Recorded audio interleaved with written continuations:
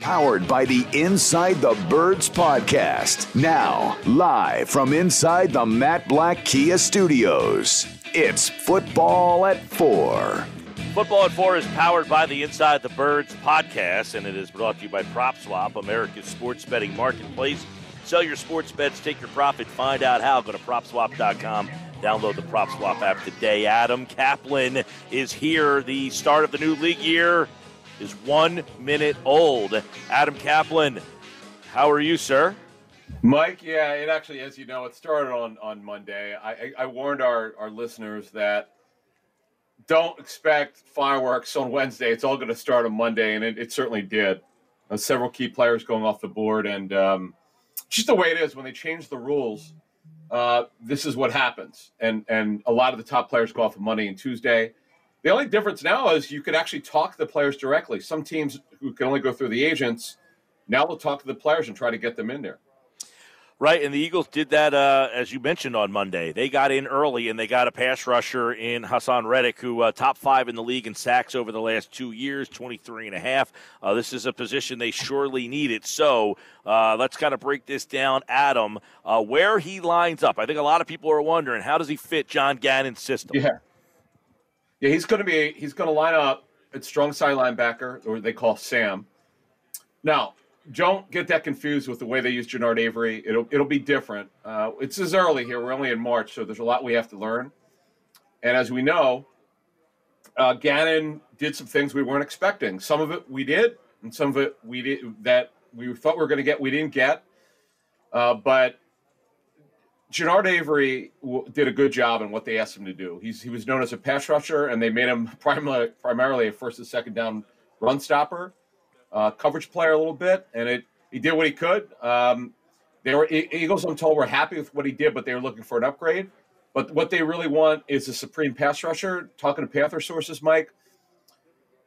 Haason Reddick is a run and chase player. He's not a coverage guy. He doesn't have the instincts to do it. You could try it, but you're probably not going to do well with it. And that's just the way it is. So, you know, in the end, um, they're good. They're going to have him as a pass rusher. That's why they signed him. You you know, thirty first in, in in sacks. That's in, that's really unacceptable. That was unexpected. I know Brandon Graham tore his Achilles last season. That was part of it. But they're going with a young pass rusher who's de- just incredible with pursuit. He's a pure edge rusher. That's all he does. Um, mostly is what he will do for them is is rush off the edge, whether he'll play with his hand down or stand up pass rusher, which he'll no- mostly do he's being brought in here, being paid 15 million a year to rush the quarterback. Right. Um, which is obviously something this team has lacked. As you mentioned, they were one of the worst at getting to the quarterback uh, last season. So, um, what does that mean for the draft? What does that mean for that yeah. position? Are they done at defensive end? I mean, is, are we looking at him as a classic defensive end where they don't need to continue to look at that position? Well, I wouldn't see because Gannon runs a scheme they've never ran before in Philly. Um, this, you know, five one, five two. Um, they're a nickel defense, really. They, they only use two linebackers, rarely use three. But the big thing is having that on the ball linebacker, uh, which we saw in training camp, by the way. But the difference between that is you could have an on the ball linebacker that rushes a lot. They didn't do that with Avery and Kerrigan. I, I just to this day I don't understand it, uh, but that's going to change here with with Reddick. So just think of pass rushers. Who are your pass rushers now for the Eagles team? Reddick, obviously. Uh, Josh Sweat, who signed uh, an extension. Brandon Graham coming off a torn Achilles. That's all they have. So they're not done. They're de- they're definitely not done. Now, I would warn people: free agency does not end tomorrow. It doesn't end next week. It goes through August. Think of it that way. Uh, it certainly Eagles have signed players in June in the past on both sides of the football have helped them. You saw when they signed Steven uh, Nelson, who wound up being a starting quarter for them. They they signed him late. So don't don't like get crazy. I know fans were in action. where what are they doing? Why aren't they signing anyone? Just be patient. You let the market come to you. You don't go to it. That's when you overpay and make mistakes. Rarely do the Eagles go above market. They did Byron Jones.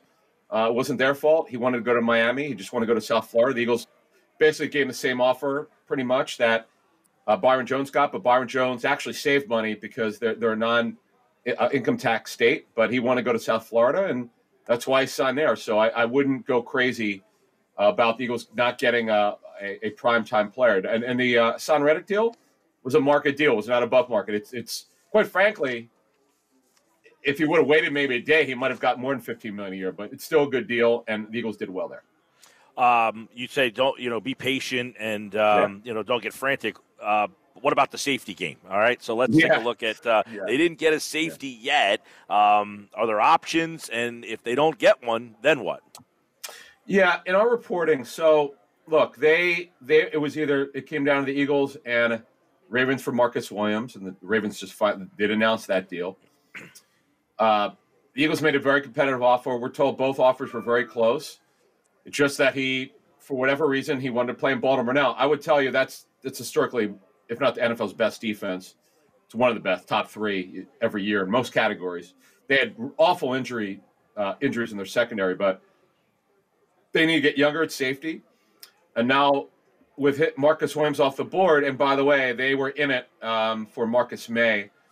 Uh, they were one of the finalists for him, but they weren't that close, to be honest with you. He went. To, there's a dominoes. He went to New Orleans. Now he's coming back from a torn Achilles. The Eagles. My understanding was they they were not totally comfortable with him coming back. Though I'm told Marcus Maye will be back in, in by by start of training camp, but they wanted someone who was clean medically, more clean. So um, they're they're not. Here's one thing though: Marcus Epps, as of now, will be starting safety. They really like him. It's been a good story development, but they know they're going to have to add two safeties.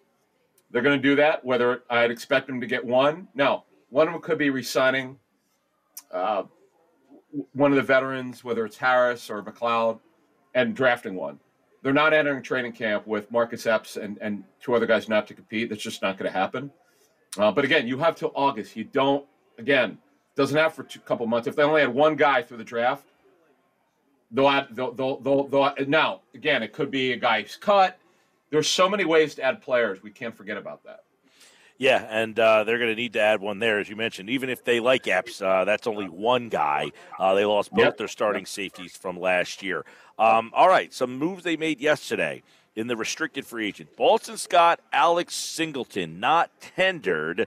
And um, Singleton led them in tackles the last two years. Scott has been an, you know, he's been a contributor. Whenever they've asked him to play, he has stepped up. Um, I would imagine that um, this kind of shows you what how they value running back and linebacker. They don't want to pay uh, for that position.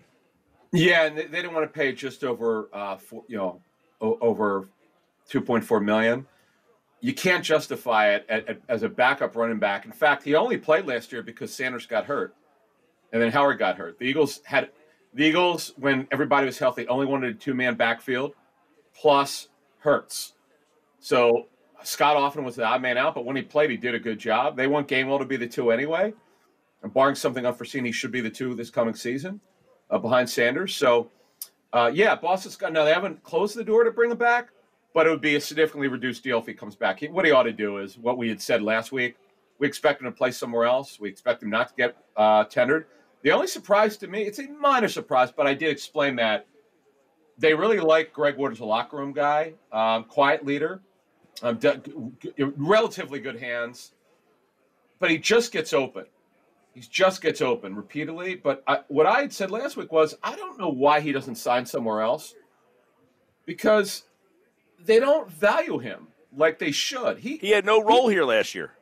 What's that? He had no role last year here. Not until late, until they had to play him because Reagor, you know, eventually got benched with his role. He had no role to, late in the season, and Figure Whiteside had no role, and they they were searching.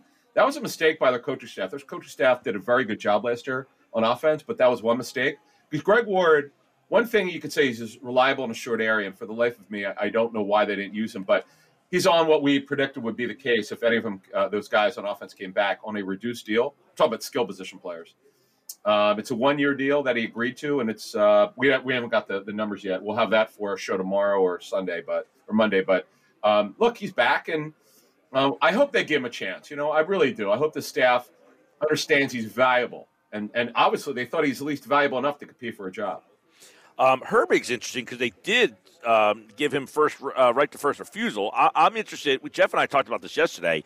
You know, if I'm like a team like the Giants, whose offensive line is a disaster, do I just make the Eagles have to match it or, or lose them? Well, uh, what we reported last week was Eagles wanted him back. We didn't know at the time how they were going to do it, and what they did is they gave him the low tender. Uh, restricted free agents rarely move. In fact, in Eagles history, they've either Matt they, have gotten involved in in restricted free agency. Remember Mike Bell, um, the Saints had they actually wound up um, a get putting a deal together to get him, but it didn't work out very well. Uh, restricted free agents really rarely move. Um, I wouldn't worry about it. Now he's valuable, um, and I know why the Eagles. Uh, when we talked to Eagles first last week, our explanation that we got was um, gets you out of a tough spot, could play center or guard. Took his responsibility last year for losing weight. He lost over 40 pounds. He looked much better. Never be a good athlete, but he's a great sixth, you know, a, a top backup interior lineman. Now, look, yeah. here's the thing: Mike Osayi is still on the roster for five million. Um, Kelce's back, Driscoll's back, Herbig's back, Dickerson's back. They've got uh, Jack Anderson. They love as a as a as a potential backup center guard. This is a good position they're in for for their interior line. Yeah, no doubt. Um, they've got some depth on the line um, for Philadelphia. Free agency, by the way, has kicked off. It looks like Julio Jones is going to get released by uh, Tennessee. That was a brutal move. Just a yeah, brutal you got trade. this Baker Mayfield bizarre story where he basically said goodbye. Who's, we'll see what happens. Uh, I, would yeah. imagine. Now Watson has not been traded by this moment, no. right? No, no. Next 48 hours because he's got some bonus money due by the weekend, so they want right. to get this done quickly. It's got to be happening uh, soon. Yeah, they, they, it, it, it's just a matter of Watson's got to decide where he wants to go because he has a no trade clause. But they've got the compensation work out. The teams have made their offers, and they just got to firm it up. Again, to be clear, we've told you uh, on Inside the Birds for weeks the Eagles were not involved. Why? Yeah, they like him, but Watson doesn't want to come to Philly. Right. Um, you know, he gave a list of teams. Barks, unless he changes his mind, there's no there's no story. That's why we have we have people have asked us like, why haven't you talked about it? Because there's not a story. We um, there's not been a story for, for, several weeks. Overtime. The Eagles are one of two yeah. teams uh, that are pushing for a rule change. Now, I'm surprised that there's only like two teams, I guess the three that that offered a new rule. So it seems that the teams don't care as much about the overtime as the fans do. Well, the teams care because actually, no, the teams do. Some teams do care because it's a fans league, and Roger Goodell cares about it because he does. He likes watchability. But yeah, why didn't more teams turn it in? So I like Tennessee's. So basically, Tennessee's is funny.